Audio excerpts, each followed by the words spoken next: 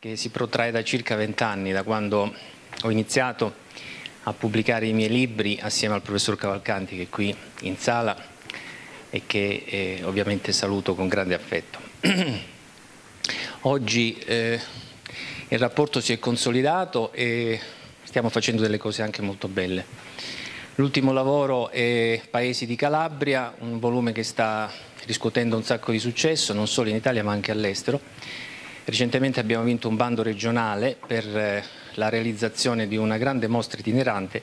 che parte dall'Italia, eh, toccherà parte dell'Europa del Nord e arriverà addirittura in Nord America, quindi per la presentazione di eh, un lavoro, un libro, ma più che di un libro, eh, di una Calabria che è quella che cerchiamo oggi di mh, mm, spiegare, che a mio avviso dovrebbe essere maggiormente conosciuta eh, sia nella sua dimensione colta, come solitamente si fa, chiese, palazzi, castelli, eccetera, ma sia eh, soprattutto anche nella dimensione popolare. Perché la Calabria è una regione fortemente eh, concretata da una cultura popolare che ovviamente eh, si ripercuote e si riflette anche nel mondo delle costruzioni, anzi parte dal mondo delle costruzioni perché lo spazio è proprio il luogo eh, su cui poi attecchisce la cultura. Eh,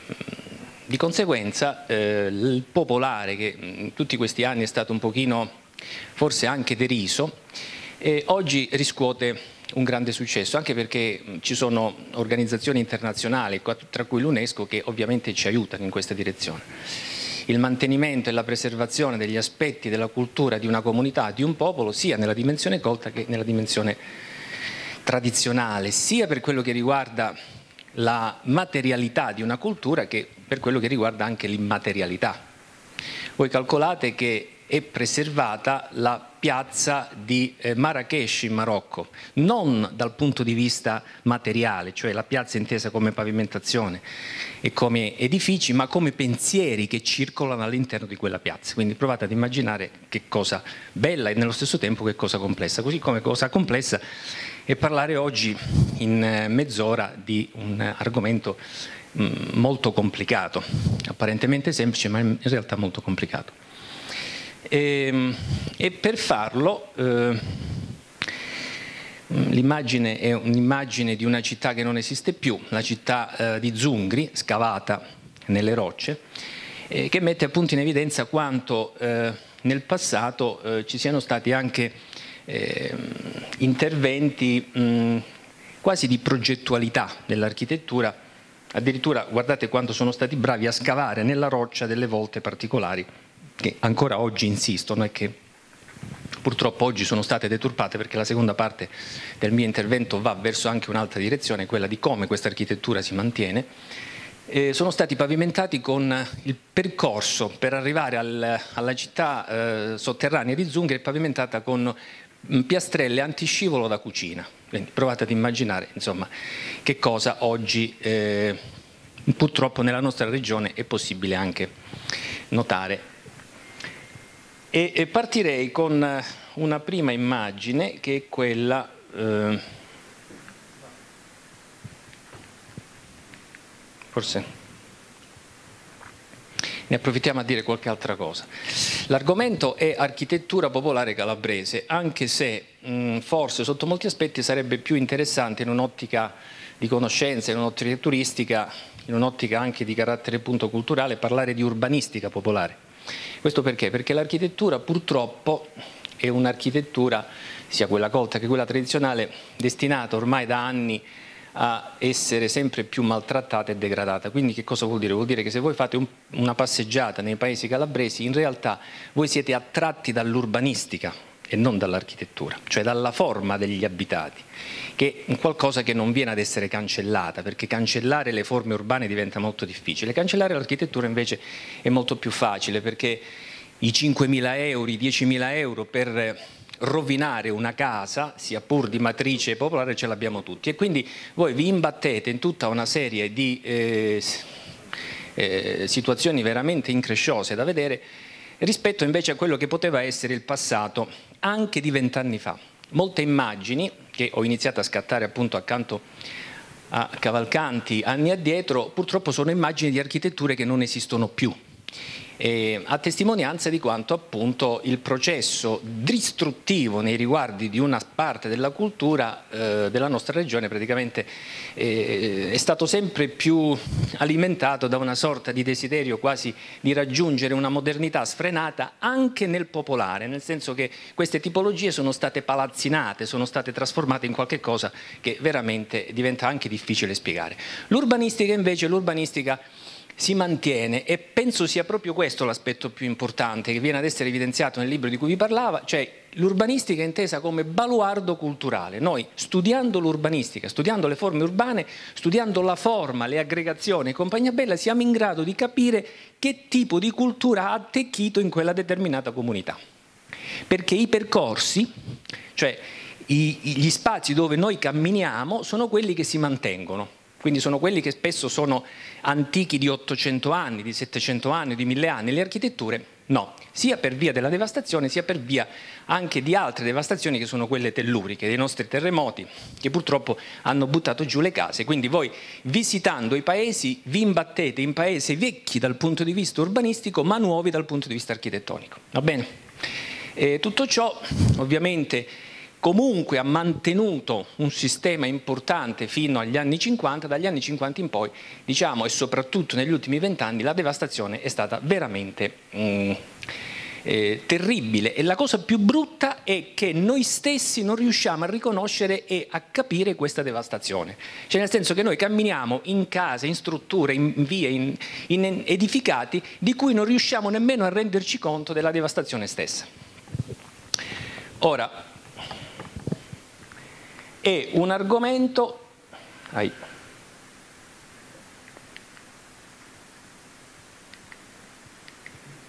è un argomento che si presta anche ad una eh, duplice lettura, nel senso che mh, mm, per poter parlare di architettura popolare bisogna in qualche maniera, uso un termine non felicissimo, palleggiare due ambiti disciplinari, quello storico,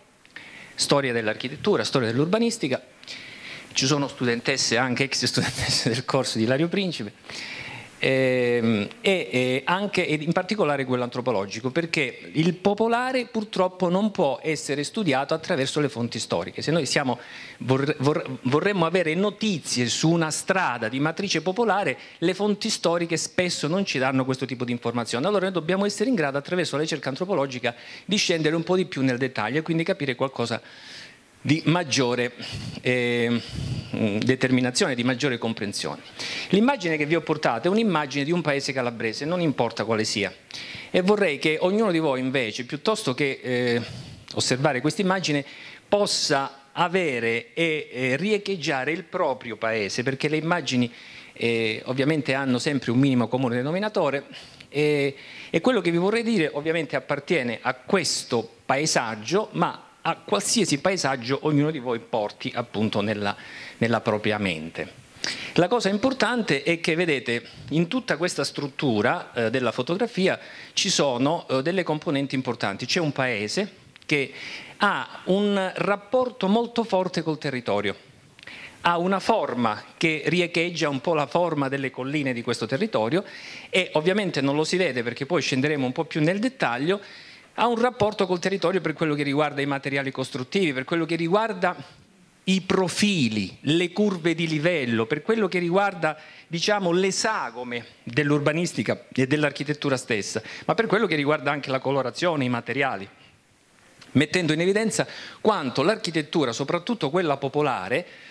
più che l'architettura colta, perché l'architettura popolare è un'architettura che ha come voce mm, ricapitolante un po' la dimensione corale della comunità. È frutto della comunità rispetto alla dimensione dell'architettura colta che invece è frutto di sistemi diversi, sono spesso opere di importazione. Noi andiamo a eh, riempire le copertine patinate spesso dei nostri libri con opere che non sono calabresi Spesso si parla di una grande chiesa realizzata con maestranze provenienti e compagnia bella, senza nascondere, per esempio Altomonte, uno dei paesi più eh, come dire, citati della nostra, che presenta un'architettura bellissima nella sua articolazione strutturale e stilistica, la chiesa di Santa Maria di Consolazione, che però non è opera dei calabresi nel senso che sono venute maestranze d'Oltralpe per realizzare questa, in una dimensione di scambio culturale anche molto interessante ma molto importante. Una cosa è certa che però quando noi andiamo a parlare di questo sistema, che cosa ho combinato?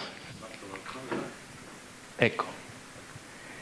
Di questo sistema, quello che vedete in basso, il sistema che vedete in basso è un sistema invece che è frutto di una partecipazione comune, nel senso che senza farla lunga, è un paese che nasce sulla base delle necessità della comunità. Cioè il mastro costruttore che si chiamava Ciccio veniva ad essere informato da Commare Maria e dal suo marito, eh, il signor Rocco, dicendo, senti, io voglio realizzare una casa vicino a quella di mia sorella che abbia certe caratteristiche che usa certi materiali, che abbia degli spazi affinché io e mia sorella possiamo preparare, eccetera, eccetera, insieme la conserva, eccetera, eccetera, eccetera. Quindi un sistema che nasce dalla compartecipazione corale in cui il mastro costruttore rispetto ai demiurghi di oggi era soltanto un esecutore della volontà della comunità. Quindi quel paese è un paese comunitario, è un paese nostro le architetture invece simbolo spesso e erroneamente di questo paese, la chiesa, il campanile, il castello e compagnia bella, non sono opera nostra. E spesso non sono nemmeno strutture ricapitolanti l'abitato, perché intorno a queste si nascondono una serie di motivazioni anche di carattere molto più importante che spesso non vengono evidenziate, per esempio la dimensione sacrale e quant'altro, di cui forse in qualche modo parleremo. Quindi, senza farla molto lunga, eh, questa parte del paesaggio è un paesaggio culturalizzato, non c'è niente di naturale, non c'è naturale nemmeno il mare, perché il mare è inquinato, il mare di Pizzo, vi dico subito che ci troviamo a Monterosso, e quindi il mare in qualche modo sotto un aspetto può essere considerato anche culturalizzato all'inquinamento. il lago è un lago culturalizzato perché è un lago artificiale, quindi noi guardando questo, questa immagine Ehm, ci sono tre elementi di questo paesaggio che dal latino pangere vuol dire recintare, poi spiegheremo che cos'è il paesaggio e che cos'è il paese, ci eh, rapportiamo ad una dimensione importante che noi eh, può essere in qualche, ma in qualche maniera eh, evidenziata dalla dimensione del paesaggio urbano, che è quello del paese, del paesaggio rurale, che sono le case sparse che voi vedete, e del paesaggio agrario, che apparentemente con l'insediamento non c'ha niente a che fare, ma in realtà non è vero, perché tutte le opere di canalizzazione, tutto quello che è stato fatto anche dagli arabi, anche nelle nostre, nelle nostre terre, è un elemento di culturalizzazione del paesaggio. Quindi sostanzialmente noi viviamo in un paesaggio, in un luogo che sostanzialmente viene ad essere modellato dagli uomini, dalla comunità, in un rapporto sinergico con il naturale, nel senso che il culturale dà una mano al naturale e il naturale dà una mano al culturale. La stessa cosa che avviene sostanzialmente come tra mente e corpo. Non esiste la mente e il corpo, esiste il corpo e la mente che si, si abbracciano e si aiutano a vicenda. Scendendo di quota, il paese si vede nella sua struttura, quindi qualsiasi paese voi abbiate in mente, nella sua struttura che ovviamente può essere spiegata come caratterizzata da tetti in una certa maniera, da intonaci da una certa maniera, da finestre, da una sorta di eh, complessità dal punto di vista architettonico, però noi, parlando di architetture popolari, parlando di insediamenti, parlando di paesi, dobbiamo non dimenticarci che questa foto si spiega soltanto ed esclusivamente in una maniera. Pensare che all'interno di questa struttura vivono persone. Persone che se voi fate silenzio come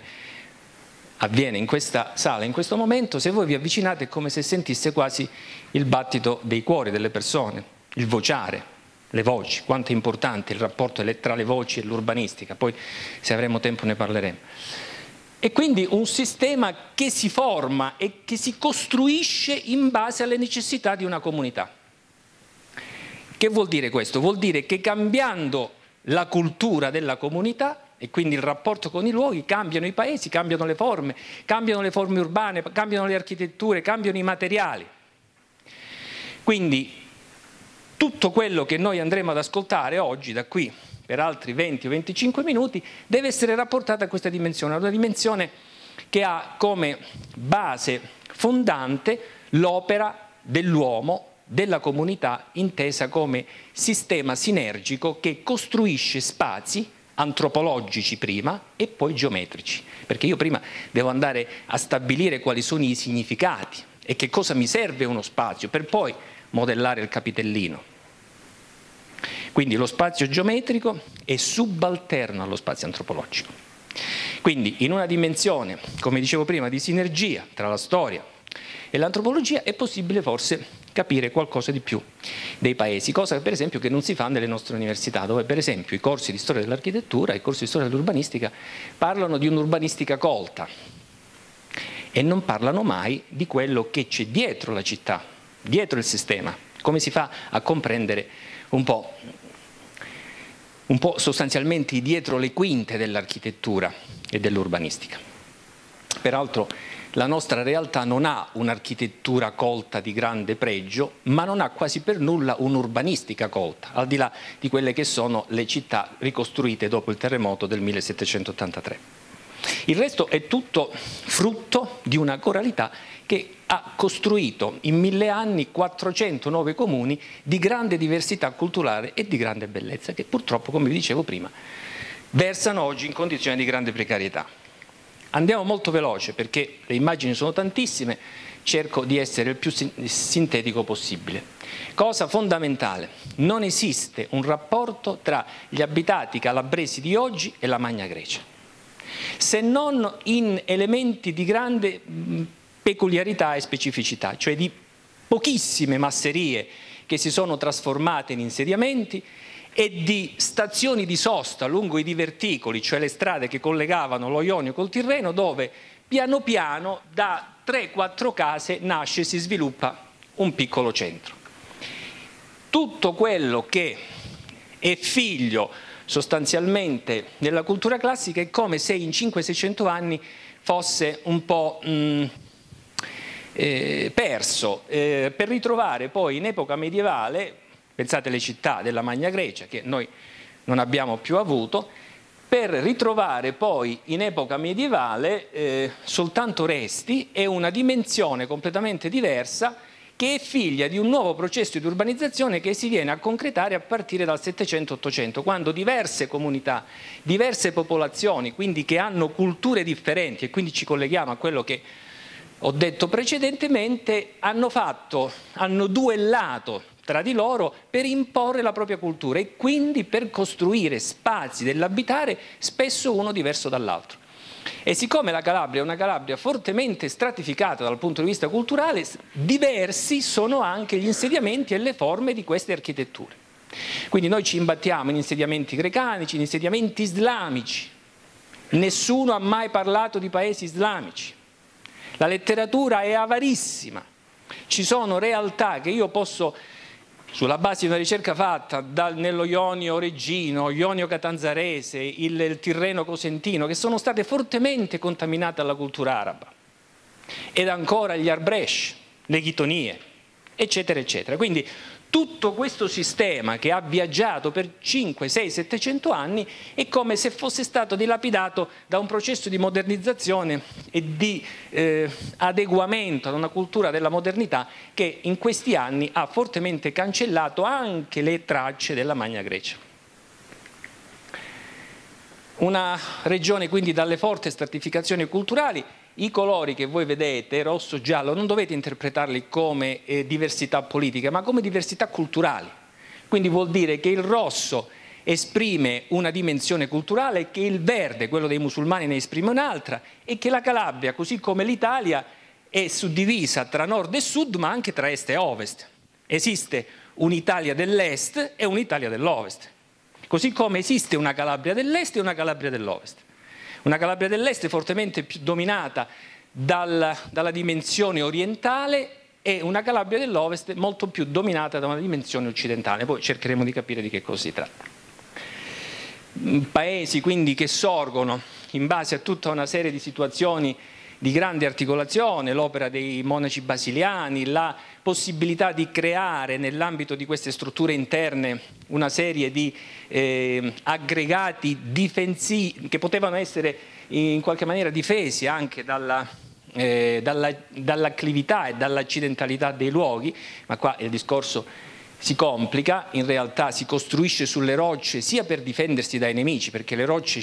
permettono ai, nemici appunto di scivolare nel caso di attacco, ma anche in un'ottica sacrale, cioè io costruisco vicino alla roccia perché la roccia è un elemento di protezione, come una divinità che mi protegge no? per la sua bellezza, per la sua forma strana e quindi io costruisco vicino ad essa perché la roccia stessa eh, in qualche maniera mi fornisce anche quella protezione che non è soltanto una protezione materiale ma anche una protezione immateriale, cioè gli argomenti sarebbero veramente tantissimi da sviscerare. Una Calabria che già nel 1000 presenta già delle articolazioni molto importanti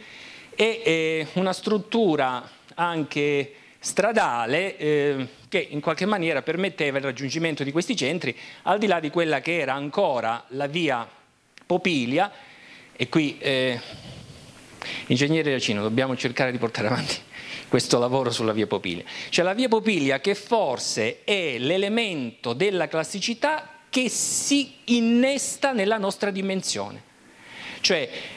il rapporto col classico noi non lo troviamo nelle città, non lo troviamo nei paesi, ma forse lo troviamo nei tratti stradali. Non è un caso che la via Popilia è quella strada che poi ha dato input alla costruzione, alla costruzione della strada statale,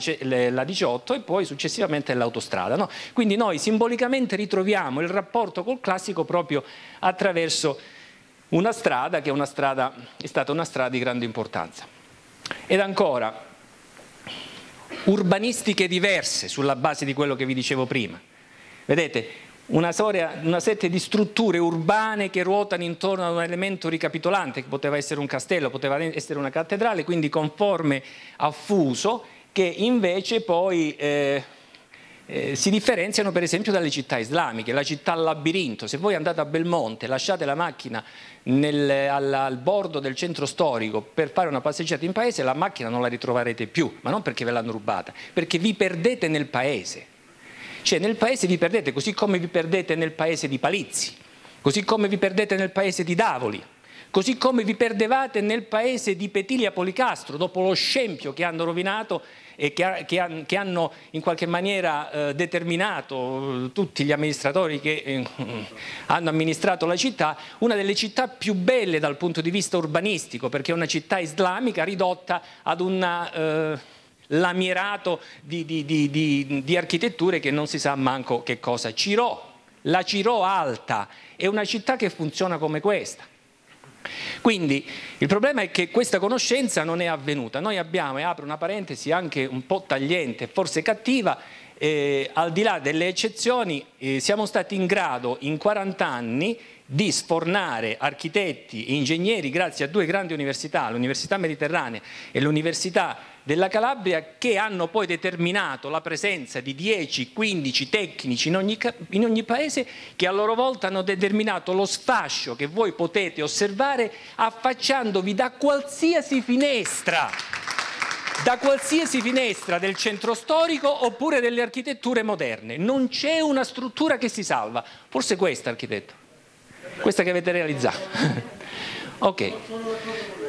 Non, a volte ovviamente il, il, io penso che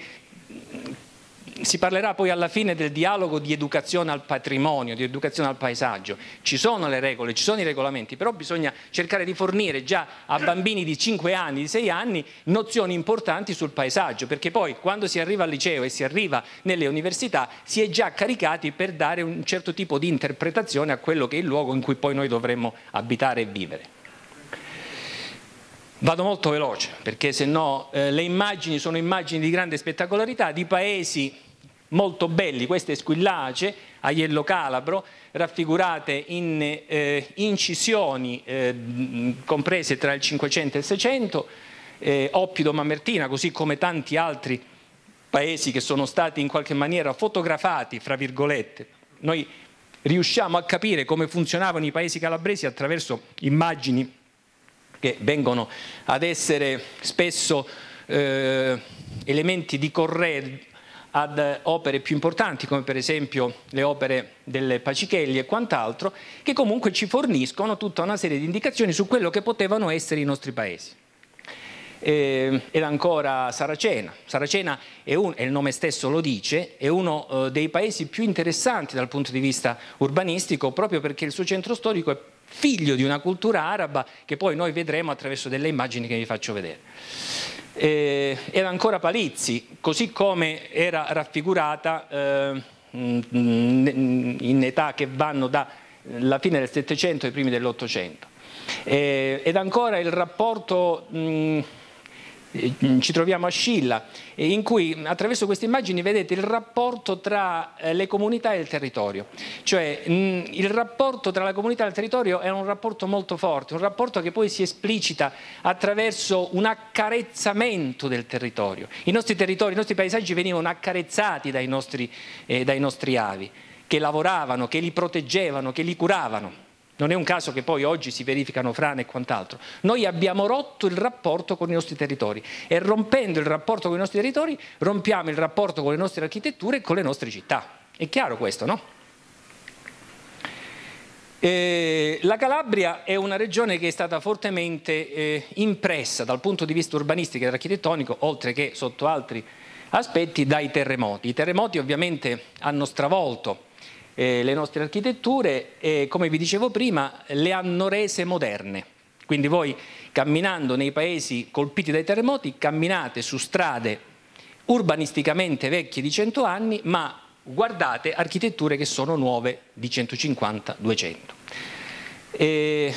e, che in alcuni casi sono state rase al suolo ma il, eh, il discorso qua si complica, le, le, le, le nuove città, le new town dei primi dell'Ottocento, così come quelle di oggi a Cavallerizzo, non sono spesso mm, new town per motivi legati all'impraticabilità delle vecchie, ma per motivi economici.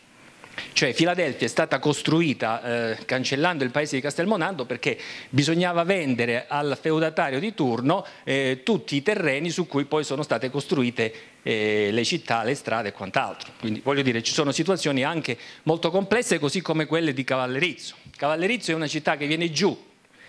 nel Cosentino per una frana causata dalla modernità e dalla cementificazione ma la New Town, che è una città aberrante perché l'architetto che l'ha costruita non ha capito niente, ha realizzato la città da mille e una notte, cercando di reinterpretare le chitonie che non sono state reinterpretate per niente, con volte curve, eh, volte a botte e quant'altro che non si sposano con la nostra tradizione, dando una colorazione bianca. Voi da Torano guardate la nuova Cavallerizzo e vi rendete conto che è una città che con la nostra cultura e con il nostro territorio non ha niente a che vedere. Quindi città anche comunque di una certa bellezza, anche di una certa organizzazione, come per esempio Filadelfia, è una città con piazza centrale, una città che è urbanisticamente antisismica. Quindi se ci dovesse essere un terremoto, le case cadono su se stesse e non vanno ad invadere la struttura vicina. No? Quindi è una città che presenta una logica anche eh, antisismica appunto dal punto di vista urbanistico con tutto un ragionamento importante che può essere quello relativo alle case baraccate, cioè alle case che sono costruite con intelaiature sismiche proprio per difendersi meglio dai terremoti e quant'altro. Quindi vedete come lo scenario si amplia e quanto io non sia in grado, ovviamente in 20 minuti, di tracciarne un percorso, ma che comunque eh, diventa importante. Una cosa è certa, che questi paesi, per come avete visto, si sono mantenuti tali fino agli anni eh, 50 eh, qua siamo in un paese Arbresce del Crotonese, mh, mm, San Nicola dell'Alto eh, ed ancora Scalea, guardate immagini di Scalea prima della cementificazione eh, degli anni 70 quando ancora vedete eh, la città spiccava su una pianura anche di grande bellezza. Vado avanti. Ed ancora eh, Rocca Bernarda Belvedere in questo caso eh, eh, mi sembra eh, il paese che sta, il balcone tra i due mari, eh, Tiriolo, eh, in una dimensione eh, di grande bellezza e di grande partecipazione. I nostri paesi erano pieni di gente perché erano stati costruiti per la gente, non per andare a dormire, perché la gente viveva nei paesi in una dimensione eh, ovviamente di povertà e qua bisognerebbe fare un ragionamento ancora molto più ampio, magari possiamo organizzare qualcosa, che cos'è la povertà e che cos'è la ricchezza, che cos'è la bellezza, cioè la bellezza è questa architettura, l'architettura che avete qui sulla piazza, quella, diciamo, quella struttura che sta per cadere, o la bellezza sta per esempio in una casa casupola che ha eh, una sua dimensione culturale di tenerezza, di, eh, di semplicità. Che cos'è la povertà? È gente povera quella? O è gente ricca di valori? Ricordate che in quella dimensione c'era il sarto che sapeva cucire, il coltadino che sapeva leggere il tempo, l'artigiano che sapeva interpretare i materiali e trasformarli. Oggi noi stiamo andando verso una dimensione di apparente ricchezza ma di una grandissima povertà, perché nessuno sa fare più niente. La Calabria deve essere recuperata sotto questo aspetto, sull'aspetto delle idee. Non abbiamo più idee se non quelle relative al capire in quale supermercato c'è uno sconto di provole e salami. Quando questo tipo di idee e questo tipo di ricchezza non ci appartiene più. E qua ovviamente non mi addentro in una problematica antropologica, anche perché poi rischierei mm, di andare oltre, forse in una dimensione anche complessa in, in questo eh, breve momento da, eh, da, spiegare. Una cosa è certa, qua per esempio Guardavalle è una città di grande eh, dimensione popolare, eh, al di là di quello che è l'aspetto di queste architetture, dove però vedete c'è una dimensione anche molto bella per quello che riguarda la compartecipazione, no? la, strada. la strada. Le strade una volta erano le stanze all'aperto, dove la gente si confrontava, viveva, eh, si arricchiva, scambiava informazioni. La fontana, cioè il rapporto con la fontana, eh, sono immagini che, su cui veramente potremmo stare qui un sacco per parlarne e per il rapporto con i bambini. I bambini non hanno più un rapporto con i nostri paesi. Tutti noi eh, confiniamo i bambini ormai nelle nostre case esplose, nelle periferie dove ovviamente addirittura per chiamare il ragazzo che sta al di là della cancellata eh, si mandano la chat e quant'altro. Quindi la dimensione popolare dell'architettura viene ad essere cancellata da sistemi molto complessi discorso delle processioni, la protezione del territorio. I paesi fino agli anni 50 erano quelli che potete vedere in queste immagini, al di là ovviamente di quella che poteva essere definita un po' la, la povertà anche delle architetture, eh, ma una, uno scambio compartecipato no? della gente eh, che accosta questi paesi ai presepi, no? metaforicamente, una sorta di dimensione anche molto bella eh, eh e di, di forte originalità eh, le fiere, le città e le fiere, cioè il rapporto per esempio con lo scambio, con la vendita del bestiame, dei prodotti eccetera eccetera che dava una dimensione veramente molto diversa. Qua siamo a eh, Cittadella del Capo con vedete architetture colte davanti e poi la dimensione non fortemente urbanizzata della parte retrostante. È ancora Soverato, eh, una città di grande bellezza, le quattro Soverato che oggi sono trasformate in una sola Soverato che però nella parte marina presentava anche delle articolazioni anche architettonicamente urbanistiche anche molto belle e vedremo anche qualcosa eh, di diverso. Eh, poi che cosa succede? Dagli anni 50 in poi il processo di urbanizzazione delle coste eh, si comincia a costruire in prossimità delle stazioncine ferroviarie che sono state impostate tra la fine eh, del, dell'Ottocento e i primi del Novecento in una dimensione un po' di inizio esplosione eh, di un eh, rapporto con eh, un nuovo concetto di città. Ehm, guardate queste immagini, qua siamo nella Soverato già degli anni 60-70, ma eh, vi faccio vedere quella che era la costa per esempio di, eh, di, Palizzi prima della cementificazione che è avvenuta, che è qualcosa di aberrante. La nostra costa era di grande bellezza, così come, guardate queste immagini, qua siamo a Fiumefreddo Bruzio, cioè il paese arroccato con tutto il paesaggio eh, nella parte appunto retrostante che esprime una dimensione eh, quasi poetica, mh, mm, veramente di grande, di grande, bellezza. Ma anche le cittadine che sono state costruite sulla costa eh, nei primi anni del Novecento hanno una loro dimensione di bellezza, eh, di garbo, di uso dei materiali, di un'urbanistica che forse ancora rifletteva e aveva una sua dimensione. Eh, qua siamo a Siderno, c'è una dimensione della casa, della casa, della strada rettilinea, ovviamente, sì, che cambia tutta l'articolazione urbanistica, però con garbo. In un garbo in cui eh, si riscontra ancora una sorta di vita compartecipativa, la strada ovviamente non trafficata come oggi era luogo di scambio, di luogo di, eh, ancora di, mh, di confronto, qui addirittura delle persone che giocano a carte davanti ad un bar e quant'altro, anche nella città nuova, nella,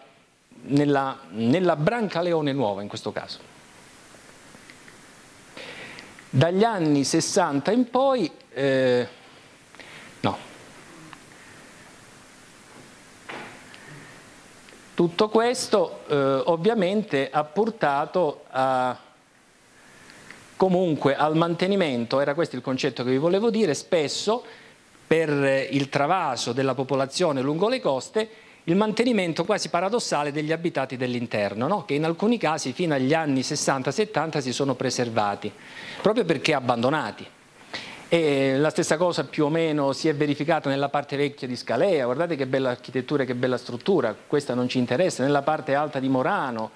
eh, ed ancora eh, qua siamo a um, paese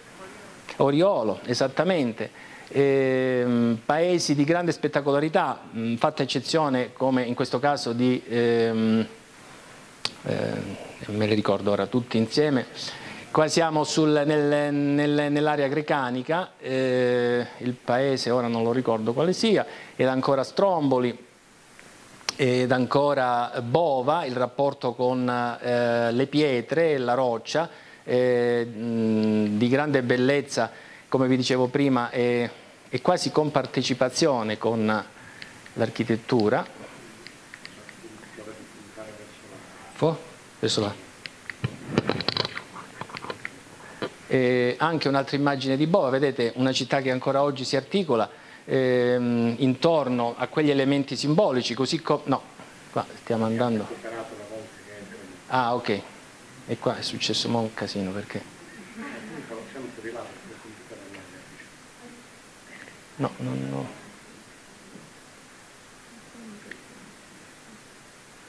Forse sta andando da solo ora. In una dimensione, come vi dicevo, di compartecipazione con il territorio, con, con i luoghi, con, con, i materiali costruttivi che sono anche figli del, del paesaggio stesso e del, e del, territorio. Come in questo caso, per esempio, eh, Palizzi.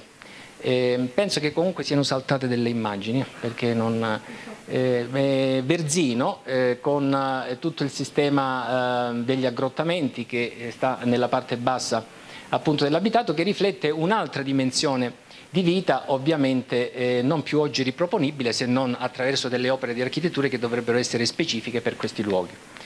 ed ancora il rapporto con i luoghi e con la roccia, qua per esempio siamo a Gerace, la stessa Pentadattilo, eh, paese abbandonato, ma che riflette sempre questo, questo rapporto con il luogo.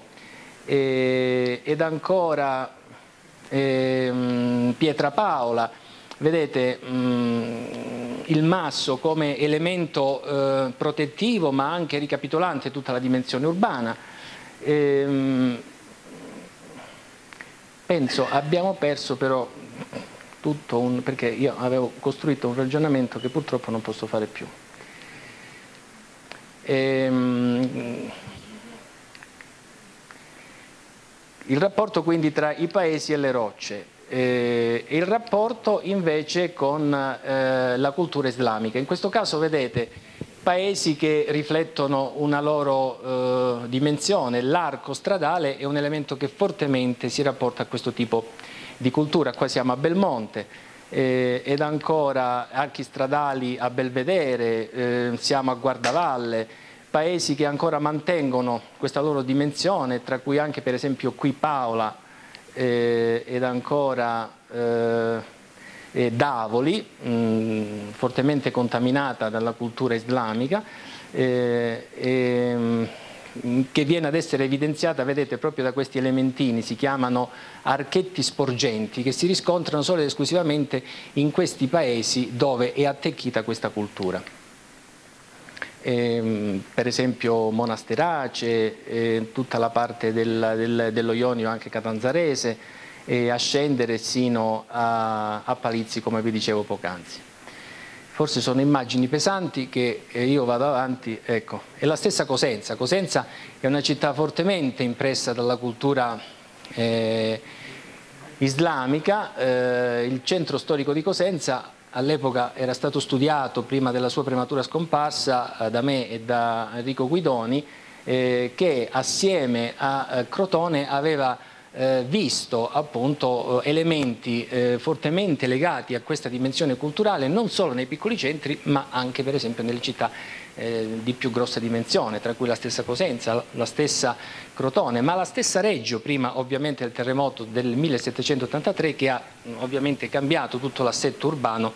della città stessa e che probabilmente qua vedremo in alcune immagini. E qui ancora Saracena, vedete questa dimensione dei vutant, è così che si chiamano, cioè delle architetture che vanno a definire aspetti eh, anche di grande bellezza. Ancora Saracena, Saracena,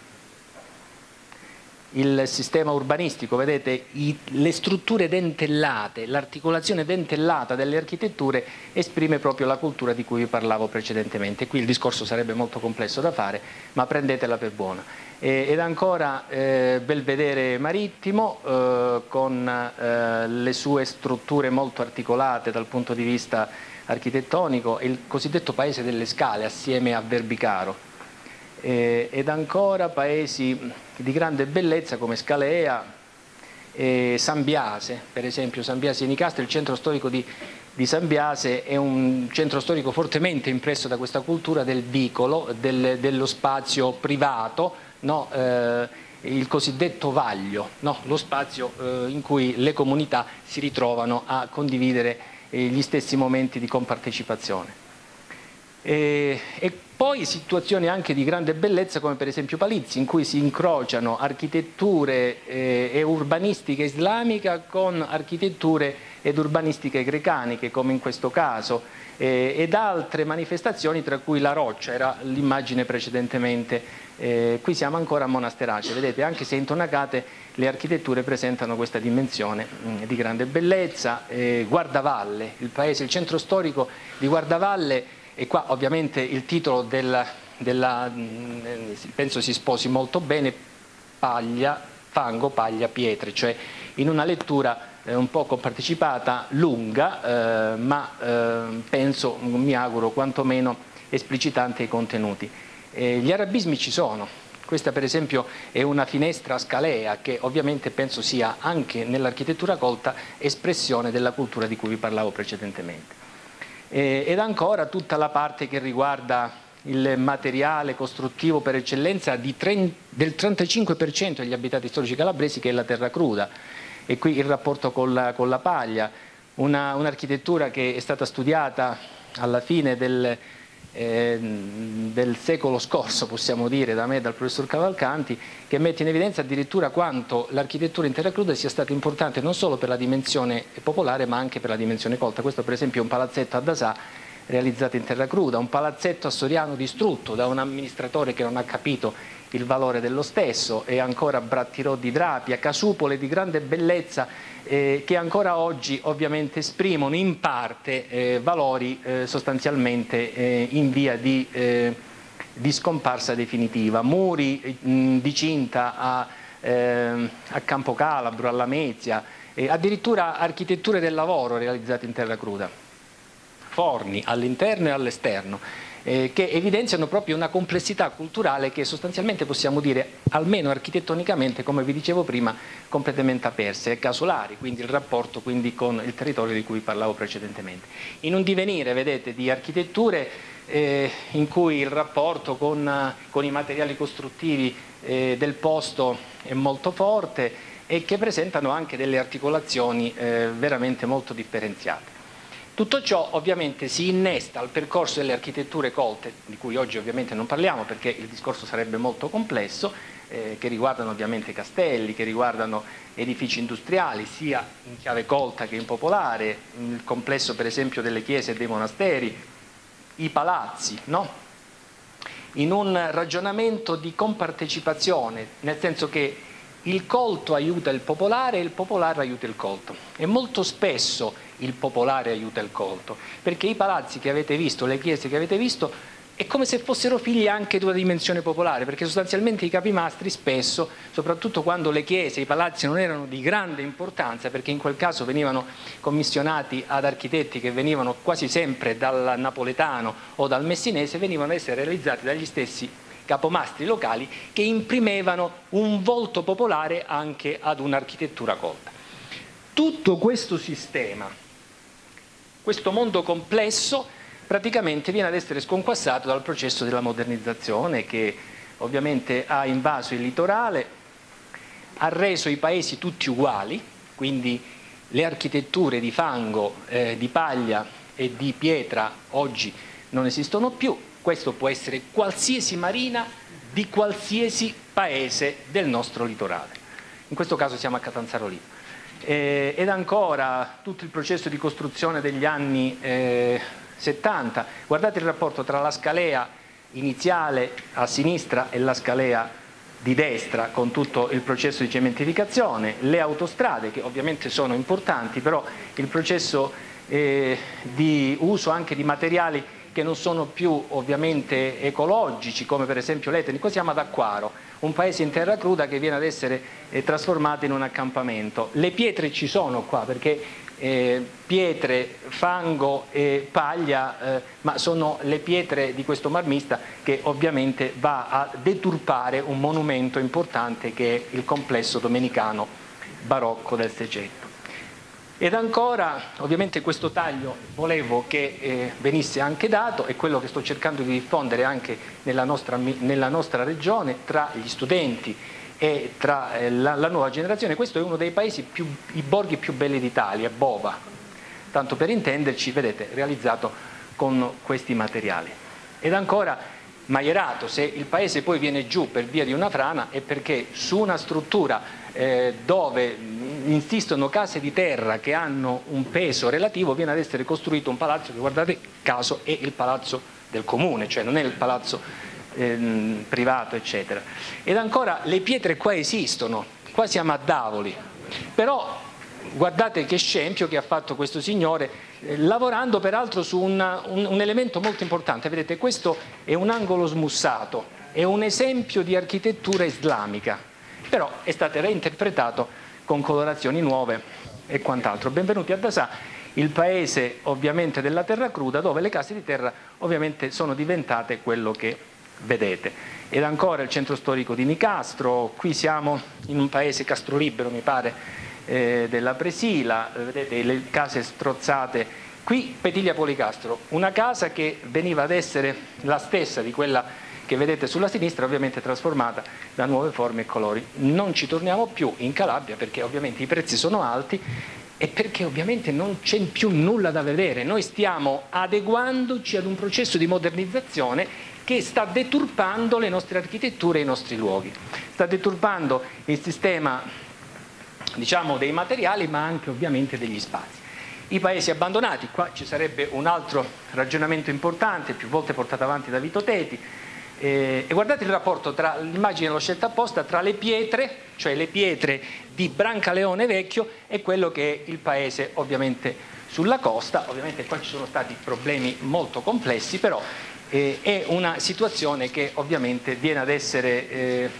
un po' riproposta eh, su anche altri litorali. Qua, queste sono le nuove architetture popolari della nostra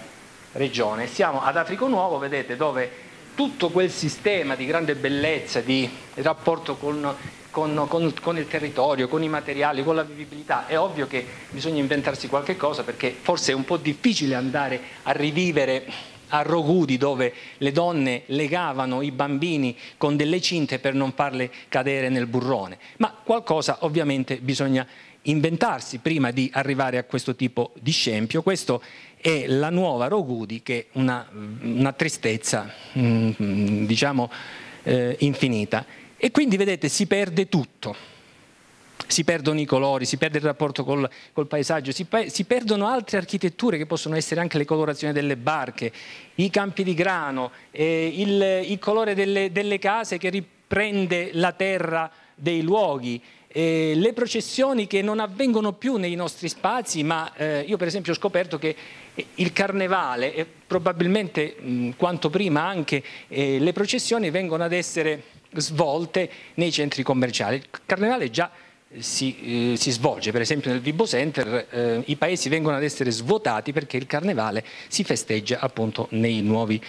luoghi. E si perdono anche le pietre, qua ovviamente di, del granito di Serra San Bruno non, non rimane più niente perché non c'è più nessuno in grado di, eh, di, lavorarlo e di trasformarlo. E quindi quella Calabria di una volta, in cui peraltro l'architettura si univa ad altre forme culturali, l'alimentazione, la religione e quant'altro, qui il discorso anche in questo caso si eh, diventerebbe molto lungo, è una Calabria che si sta perdendo, così come si sta perdendo la dimensione sacrale, la protezione degli abitati attraverso degli elementi simbolici che hanno come obiettivo quello di preservare l'abitato dalle forze del negativo, tra cui anche per esempio i segni apotropaici e quant'altro, le processioni, i fuochi d'artificio che dovrebbero tenere lontano attraverso lo scoppio. Questo forse ancora si manifesta, ma forse perché non si riesce a capire per quale motivo tutto ciò avviene. Il campanile che eh, ha un elemento di protezione, le case che guardano il campanile sono case protette, per questo tutte le case sono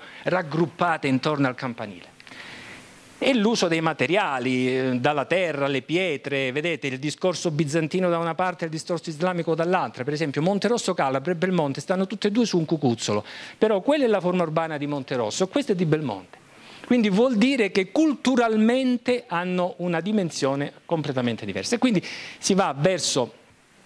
le nuove città, le nuove architetture, le nuove eh, necessità che sono quelle non più di remare, non più di zappare, ma di gonfiarsi i muscoli, ovviamente andando in palestra, ma è una cosa. E poi qui si apre un discorso molto complesso che è quello della musealizzazione. Vi chiedo soltanto altri 5 minuti di attenzione, cioè del ridurre la cultura in un museo. E negli anni 70, anni 80, eh, il professor Cavalcanti è stato uno degli iniziatori del processo ovviamente di musealizzazione, però di un processo di musealizzazione corretto della cultura. Anche mio padre ha realizzato a Monterosso il quinto museo della civiltà contadina e artigiana. Oggi, da un'indagine fatta sempre con Cavalcanti, i musei del folklore sono 250, ridotti però nello stato così come voi pensate. Cioè noi crediamo che quella cultura che non esiste più può essere musealizzata, cristallizzata, ma cristallizzata anche in male modo ma non solo i musei, eh, anche le sagre. Io ho censito 200, 2700 sagre tre anni fa nella nostra regione dove si cercano di valorizzare prodotti che però poi non si ritrovano sul banco per esempio il mese dopo, dopo due mesi. Il pane di castagna in questo luogo non si può mangiare perché la manifestazione finisce il giorno del, eh, che vedete qui. E poi tutta la parte che riguarda la dimensione presepiale, cioè noi pensiamo attraverso i presepi viventi di, eh, eh, di risolvere un problema di grande complessità. Il presepe, e qui eh, il discorso è anche in questo caso molto complesso, ha un altro obiettivo che è quello sicuramente di riunire la comunità, di far eh, comunicare alla comunità dei valori, ma non possiamo pretendere un riuso degli abitati attraverso delle forme presepiali, che sono sia viventi, mascherando i bambini così come vedete in questa dimensione, né tantomeno ricostruendo gli abitati attraverso eh, un po' delle miniature. Oggi in Calabria sono numerosi gli artisti che costruiscono presepi e che spesso interpretano male i presepi perché vedete vanno a deturpare anche l'architettura quando gli artisti non sono eh, diciamo importanti, ma non mi addentro in questa problematica perché è una problematica molto complessa. Una cosa che voglio mettere in evidenza è che il riuso degli abitati può in qualche maniera essere riecheggiato da una trasformazione in presepi, anche dal punto di vista artistico, ma il centro storico di Vibo Valencia non è questo. È chiaro, no? Ecco. E allora ci si apre verso una dimensione diversa, che è quella dei musei laboratorio. E quindi vado alla fine, mettendo in evidenza la necessità che i musei possano essere luoghi attraverso cui il paese può essere rigenerato insegnando alla comunità e ai bambini alcuni valori, quindi andando verso un processo che possa essere considerato come un processo di educazione al patrimonio, oltre che ovviamente di preservazione di alcuni oggetti che non vengono più utilizzati. Quindi fare in modo che il paese, da qui le pietre, vedete il paese è sempre il titolo della, della, della mia, del mio intervento, le pietre di una macina che rientra in un museo dove però il museo diventa un luogo di attrazione, un luogo di, di comunicazione di alcuni valori, tra cui in questo caso anche la musica. Il rapporto con gli studenti affinché gli studenti possano vedere che cosa sia un museo, che cosa vuol dire educare al patrimonio, portare gli studenti anche fuori Mm, facendo vedere gli scempi e anche nello stesso tempo le bellezze in alcuni casi preservate. Il rapporto con la comunità cercando di spiegare, no, io sto facendo anche questo, San Ginetando è una manifestazione organizzata a San Gineto l'anno scorso in cui ho portato un gruppo di, mm, di persone a spiegare l'architettura popolare a far capire i valori della stessa puntando su quelli che sono gli elementi importanti dei nostri paesi. Fate attenzione che queste immagini non sono slegate al titolo del mio intervento. Quando si parla di architettura popolare si parla anche di questo, perché l'architettura non può essere slegata dalla dimensione religiosa, dalla dimensione eh, dell'alimentazione e di quant'altro. Eh, guardate queste immagini, fate attenzione. Quindi noi dobbiamo andare verso paesi ed architetture che siano in grado di leggere il passato reinterpretandolo però, perché è impensabile oggi riproporre il presepe vivente. Questa è la tradizione che viene ad essere reinterpretata in Olanda, dove costumi popolari diventano elementi di attrazione per uno stilista che usa il passato per riproporre modelli nuovi nel presente. La stessa cosa che si fa per esempio nella comunità Goel nella Locride, dove la tradizione viene ad essere ripresa per fare dei capi di abbigliamento odierni e non nel mettere una studentessa o una bambina o una ragazza su un palco durante l'estate, vestirla in costume tradizionale dove il suo corpo non corrisponde al corpo ovviamente di una, eh, di una donna di cento anni prima in una sorta di impomatazione no, della, della, giovane per riproporre qualche cosa che forse oggi non esiste più. E quindi le immagini che eh, scorrono mh, mm, parlano da sole, cioè un cercare di portare anche i bambini e i giovani verso una dimensione che possa essere una dimensione in cui, vedete, la tradizione ha come eh, la, una grande importanza, cioè ci può dare dei dettami affinché il nostro presente possa essere un presente con maggiori valori e con eh, forse un, un rapporto anche con i luoghi. Queste sono immagini di tesi di laurea attraverso cui si cerca di trasmettere alcune specificità che eh, ovviamente in questo caso abbracciano la dimensione eh, anche degli arbresci. Mm, concludo con eh, queste due ultime immagini eh, che sono un po' la ricapitolazione forse di quello che ho cercato di esprimere. I nostri paesi e le nostre architetture non possono essere cristallizzate, non possono essere musealizzate, ma devono essere lette in base a quello che esprimono oggi relativamente alle nostre necessità. Per esempio si parla di sostenibilità quindi i materiali tradizionali che possono essere utilizzati ancora oggi anche nel nuovo per interpretare dei nuovi luoghi, dei nuovi spazi che però abbiano come base forse eh, dettami del, del passato. Ehm, quello che in questo momento sto cercando di proporre mh, nelle, nelle, mie relazioni e nel rapporto anche con eh, la ricerca scientifica che viene ad essere proposta all'estero è la dimensione del co-housing. Oggi si parla tanto di co-housing, c'è la coabitazione, ma la coabitazione non è altro che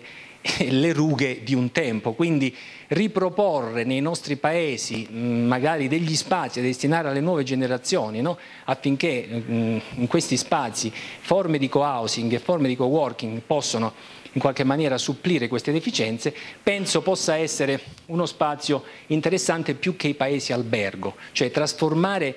questo sistema culturale in un grande albergo mi sembra una cosa veramente deprimente. No? ed è quello che stiamo cercando di mettere in evidenza in questo difficile centro sulle culture dell'abitare che è un centro interdipartimentale presso l'Università della Calabria addirittura in un dipartimento tecnico che è quello di ingegneria civile dove per la prima volta si parla di culture dell'abitare perché io ritengo che l'insegnamento anche della storia dei valori tecnici debba partire prima dalla considerazione degli aspetti che molto frettolosamente ho cercato di comunicare. Vi ringrazio, eh, tutto questo lo ritrovate nei libri della Rubettini.